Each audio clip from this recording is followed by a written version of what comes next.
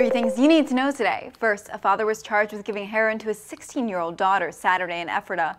The daughter overdosed on heroin and was revived with the heroin antidote, naloxone.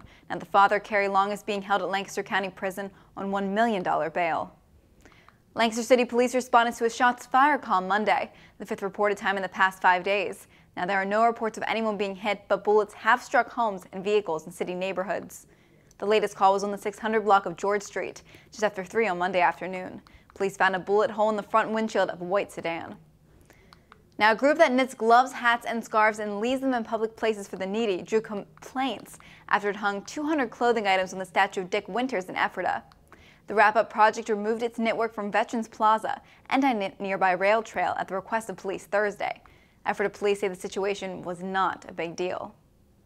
That's going to do it for us today. Make sure to check out our website, Lancaster Online, and to follow us on social media. I'm Irene Snyder. Have a great day. At Lancaster General Health, we are here to keep this community healthy and well, to give you every option to live the life you want to live. That's why we've joined Penn Medicine, Pennsylvania's number one ranked health system, to bring you local access to the world's most advanced research and one of a kind clinical trials that are leading to one of a kind cures. Your life is our legacy, and to us, that's worth everything.